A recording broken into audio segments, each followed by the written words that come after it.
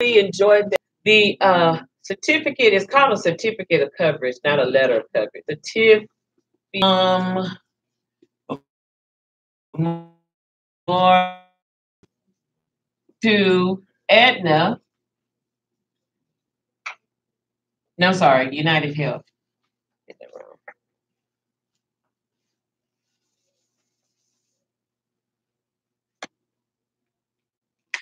United Healthcare uh, at their request to show you had coverage with previous insurance. Okay, now pre-existing for pre-existing questions or reasons we no longer use the pre-existing clause anymore. Uh, what when I was working in the insurance industry, we had to use the pre-existing rule to determine if we should pay for a claim or not. Well, here's the thing. Well, mm-hmm. it still it still does apply in insurance. They use mm-hmm. a lot of that when they do um, life insurance. Mm-hmm. Your pre-existing conditions do matter. Mm-hmm. Previously had cancer before, more than likely you understand. Okay, but the pre-existing rule no longer applies in the health insurance arena. So for that matter, uh, they have to ask in order to know for uh, what if you're a person that had renal uh, diseases? Okay, maybe you had lupus. Maybe you battle with some sort of arthritis. Anything arthritis, there you go. Anything that may have existed as uh, as a condition prior to this new insurance. Now this new insurance is taking place. You're using United Healthcare. This is your new employer. The claims get sent in to United Healthcare. United Healthcare is going to say, before we pay this claim, we need to know did you have? And if you had this before, who is your doctor? And if it was your doctor, was you were you covered under a previous insurance plan? Your answer should be what? Yes, I was covered covered under an insurance plan uh, with Aetna at, at Memorial Hermann Hospital. Here's my certificate of coverage to prove that I had previous coverage and I was treated for diabetes or congestive heart failure or renal disease or lupus under that insurance plan. Does that understand? It transfer, it gives you opportunity to transfer your coverage from one employer to another or from one insurance company to another. Health insurance companies, not not life insurance, but health insurance companies. Does everybody understand that? Gives you opportunities to transfer and have continuous coverage. That's what Title One is all about. Okay. All right. So I explain all that in a nutshell so you can understand how to help explain uh, to patients that may have these kind of questions. You may not remember this, you may not know it uh, by heart. Uh, it's going to take you two to five years to understand and know all this by heart. Okay. I'm not expecting you to be an aficionado. Okay. But you'll know enough how to help them divide, advise them or redirect their questions elsewhere. Does everybody understand that? Okay. Yes, ma'am this is only all for if the person was laid off follow or fired. What if the person voluntarily leaves the organization? Then the, then the a rule would apply the same. If you voluntarily leave or resign, that's a good question. Rules would apply the same. Yes, ma'am. It would work the same exact way. Like exiting the job, basically. You know. Like if she say, I don't want to work here no more. I'm giving you my two week notice. My last day is going to be April 15th it's the same because you're going to be gone. Yeah, you're going to be gone from there. So your insurance is going to end April 30th. So you should get a letter in the mail from your employer or from the insurance company to say you've had previous coverage with this type of insurance company. And what if you never did? Uh, so if you never did, but you've been diabetic. Oh, okay. Okay. If you never did have previous coverage at an insurance company. No, no, no. I'm sorry. Um, when you leave, oh okay, let's say you voluntarily left your your work, should that co- should the insurance company automatically send you a letter of coverage, or you have to ask for it? Well, don't, don't, They should automatically send it to you. Okay, so what? Then you need to ask for it. You need to ask for it. And how long are those good for? Until you A year. you check- Oh, It's good for a year. Do you have? Did, did, did, did, did, are you part of that kind of situation? Yeah, because um, when I got my job at the state school in January, this in January month, Okay. but because um, the policy told me, uh, because That was a question for Tammy. You had to be within a certain, and then Okay. she, she looked on for um, what's the other one she looked- of their um income based. right, right. And does your employer, um, as through reform? I don't know. Okay, so that's a question you want to ask them. Because sometimes employers will give you a choice to get a cheaper plan through healthcare reform rather than your traditional. But I got a letter from this um from HHS the state um that I can go on. I'll show you. That I can go on online and uh, ask for some a different insurance that could possibly um be cheaper from for is me it through to the get. healthcare market? Huh? Through the healthcare market?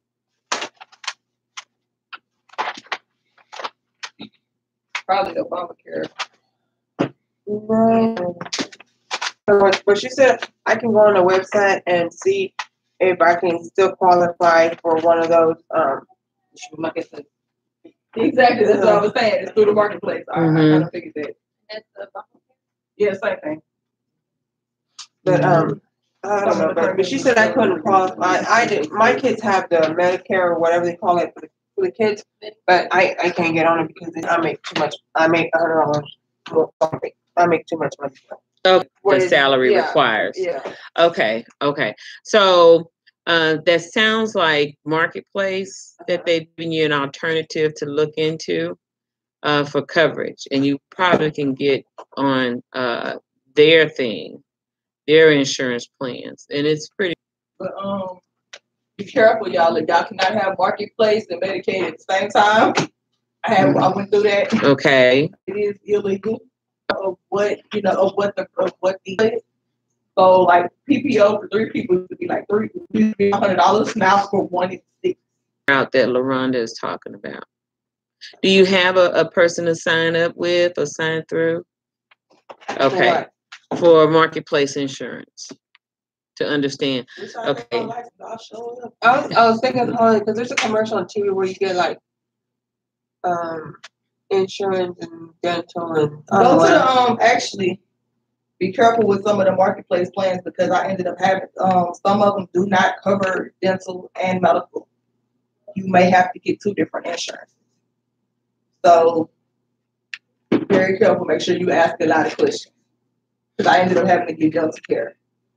I'm fixing to uh, get in touch with one of my church friends uh, that that sells it, and uh, because I thought I would um I would qualify for the The Medicaid, for the medical for the state because um I was in the hospital in January. yeah. Give me No, no, no. just a minute. February. Um, I was hospitalized in February.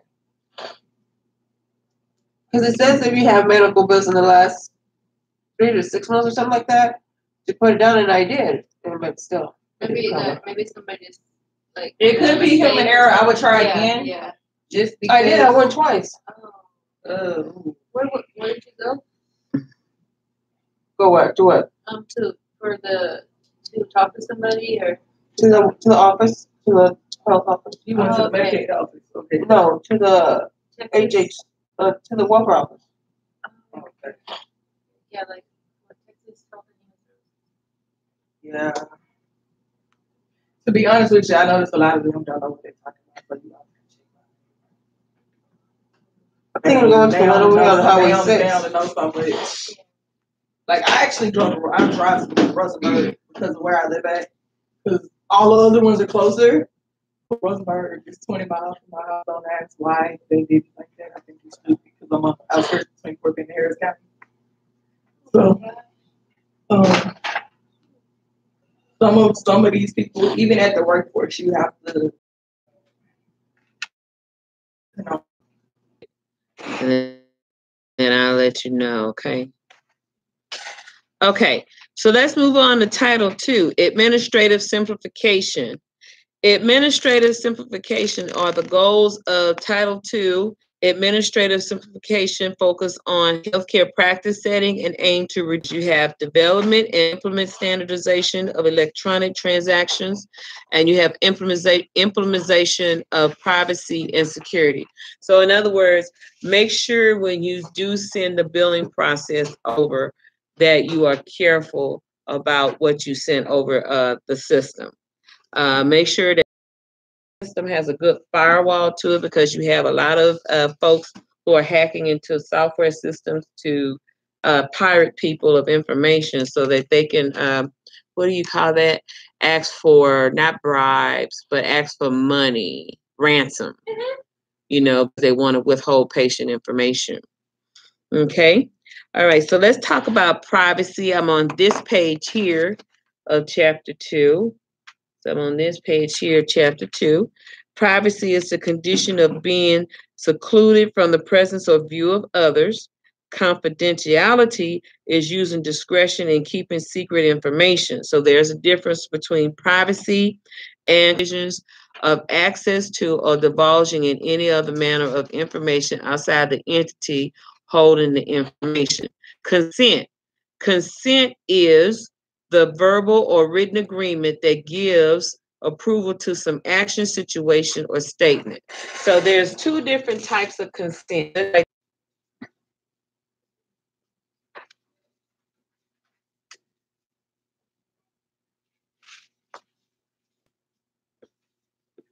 Okay, so implied consent. Implied consent is assumption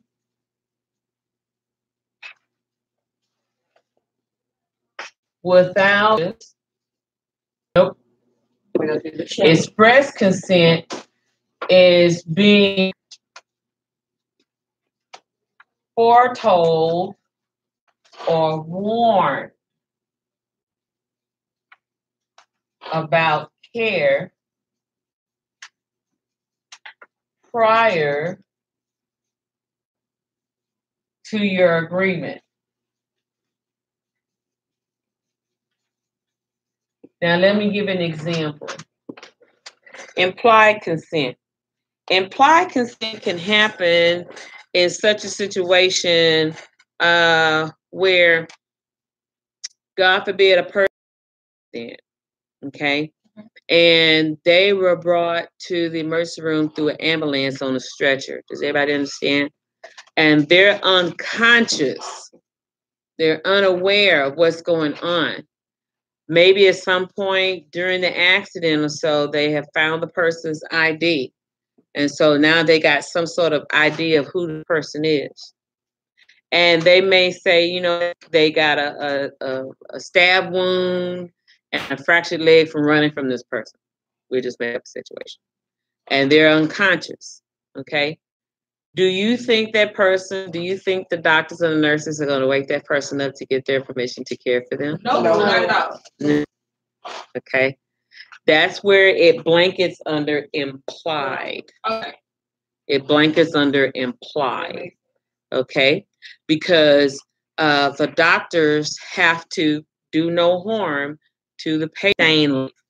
Okay. Once they sustain that life, they got that person under medication the legs are the leg is patched up from being fractured, uh, and um, the stab wound has been repaired. There's no more gushing out blood. They've gotten uh, maybe four pints of blood restored because they've lost a lot of blood during the time. Now the person is conscious and he's waking up, the patient's waking up and he's saying, Where am I? And the nurse is going to say, Hospital, you in St. John's Hospital. Okay. Uh, and they're going to say, We understand that you are blah, blah, blah. Yes. How did you know? We found your ID. Da, da, da, da, da, da, da. you think there's coverage that you have before they treat them? No. No. When they check you, I, oh, my suggestion, you anything, carry it with you anyway. Yeah, but maybe maybe suppose they didn't know or a bracelet, Right. a medical bracelet, legitimate. If you're working down, they're gonna check that, it should be on the back. Mm-hmm, exactly. But now my point is, uh, is that once once a person comes to consciousness, then When I went to the hospital when I was in labor, um, mhm, that, um, but, um, how I was allergic to anything. They just they will find out. I mean, if like, did you have your daughter at um Southwest um, Memorial Hermann? Okay, so you went there because it was the closest house vaginal birth. Okay, so did you uh did they give you any kind of medicines? Did they do an epidural? Did they do ever do establishment? permission to be given ep- behalf? No. You by yourself? Yeah.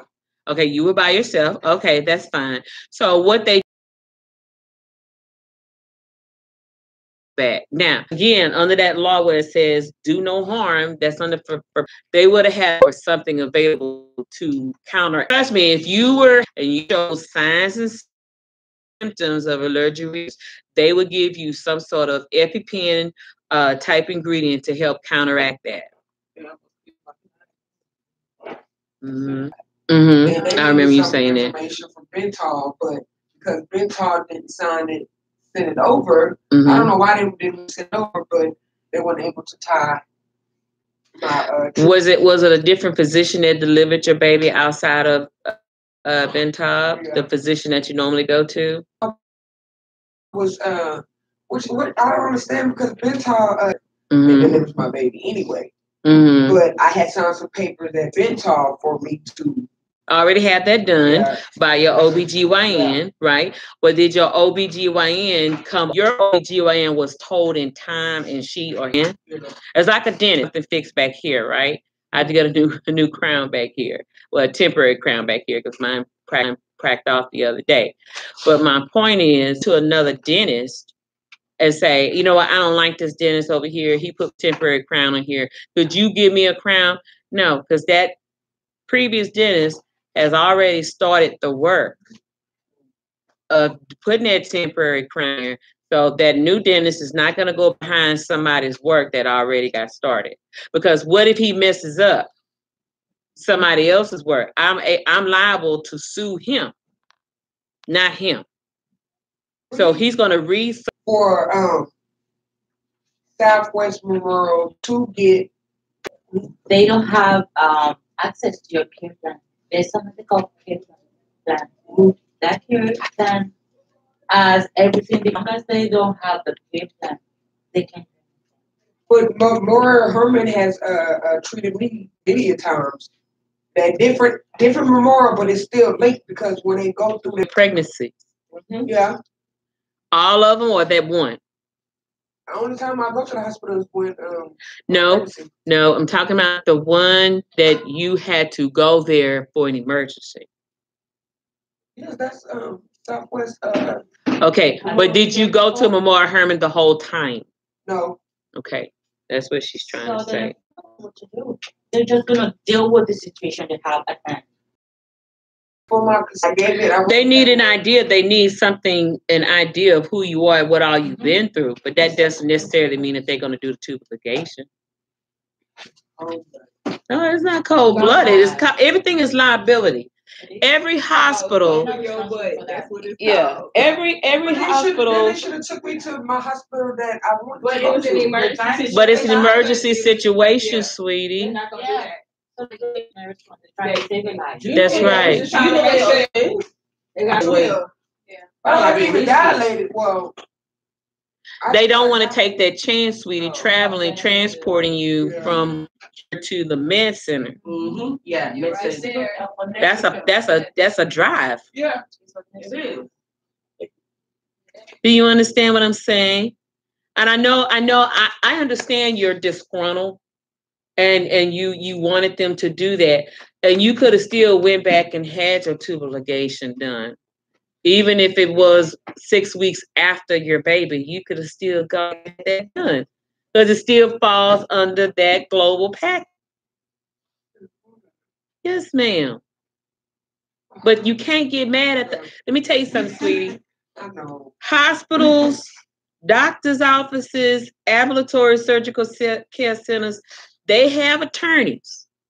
And if their attorneys worth their salt, they're going to give their best advice. It's already enough physician pay enough for malpractice insurance. Why would you want to use your malpractice insurance when you know not to do that?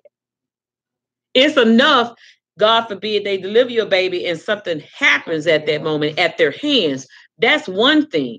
But to do work behind another position that already been with you the whole, so you got to go back to him. That's what they needed it for, so they could. They needed it that so they could have data and record on file That you came. that you came, that you were there. Every everything, every paper trail has its reasons to cover them. CYA, you're exactly right. But CYA. Get that information from Ben Taub. Oh, they got it. It just took a while. They- Slow. They just slow. Well, they got it. And if they don't have it, then that that that director That's of medical records. the, uh, How did they know if I was a? Yeah, that's that's why. Now, if now that you um and plus you also said now did you have your other two daughters at Memorial Hermann before? Yeah, but it wasn't, um, it was more Herman, but it wasn't, it was different location. One was in. The- you were still part of the Yeah, system. You were still part of the system. So since you were already part of the system, then you have some sort of previous health history with your other two daughters. See, let me explain. That's why you didn't sign no paperwork when you first. At Ben then their hands were Oh, oh, tied. Okay, okay. Now, if you had all your care with your daughter at Memorial Hermann Health System, like you did your first two daughters, then yeah. I did have her there at the Memorial Hermann. But you didn't have your whole nine months of Yeah. care. Your doctor is not privileged there. Is your doctor privileged there?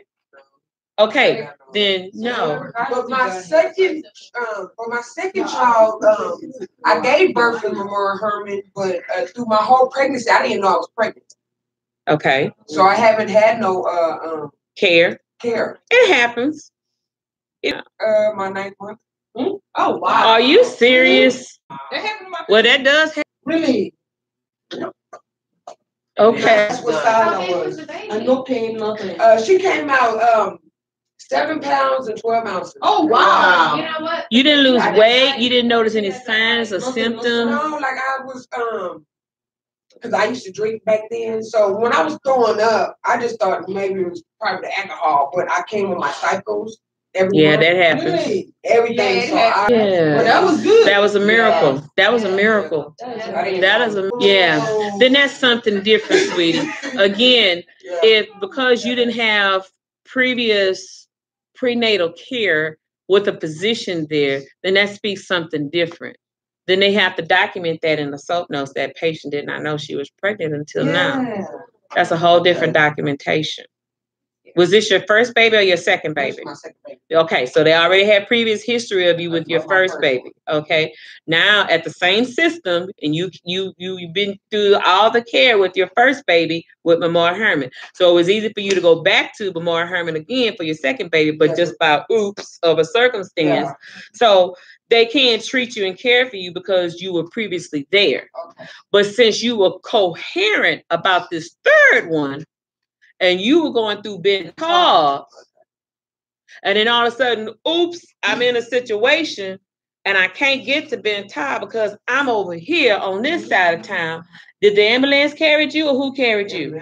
Ambulance carried you. Oh, So common sense, pass to the closest they're going to choose. Yeah, I had just passed up and talk because I was on the um, on the bus, and I just got off uh uh right there, there at that subway to uh, use the bathroom, get something to eat, and I was going having contractions, but my contractions, you know how when they say um if it's every three minute or every, you know how you can um detect uh, and uh she told me come in, so I'm thinking when I called nine one one that they was going to take me to talk.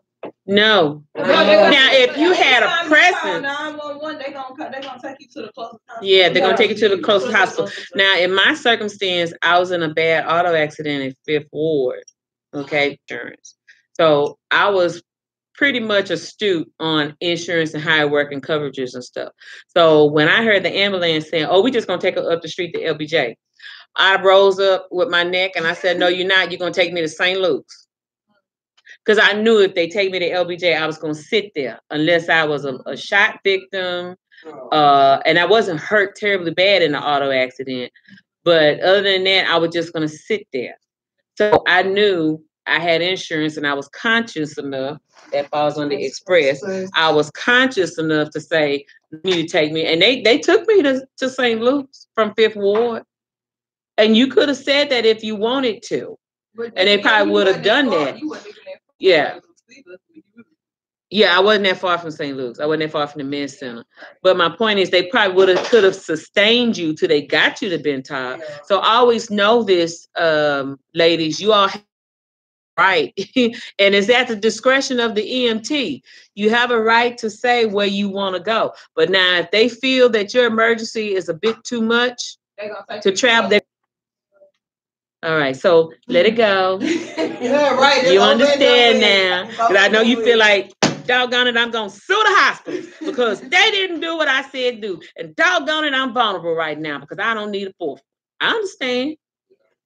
Don't get mad. Just go back to the Call your OB, OB daddy just Well, I wasn't, I wasn't nine months, I was especially when you eight don't months, but still. But still, she came a And little early. and then I was trying to, um, they didn't wanna, um, I don't understand why the OGYNs, they didn't wanna take me.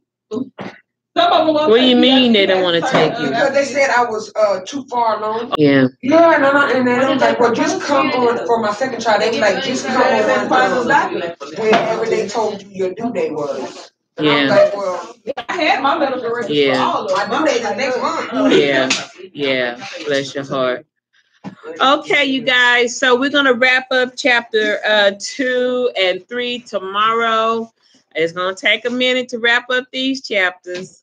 So I enjoyed y'all today. Y'all have a beautiful day, and I'll see y'all on tomorrow.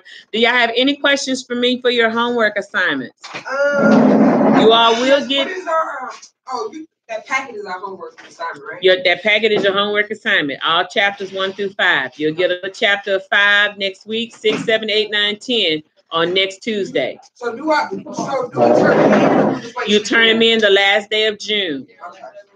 You have until June to finish all that.